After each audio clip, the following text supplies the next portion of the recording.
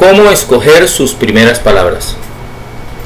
Eso va a depender mucho de la calidad de su discurso o presentación. Al escoger sus primeras palabras, nunca piense en usted. Piense en cómo su discurso o presentación va a tener un impacto en la persona que lo va a escuchar. Escoja esas palabras de acuerdo al impacto que quiera causar.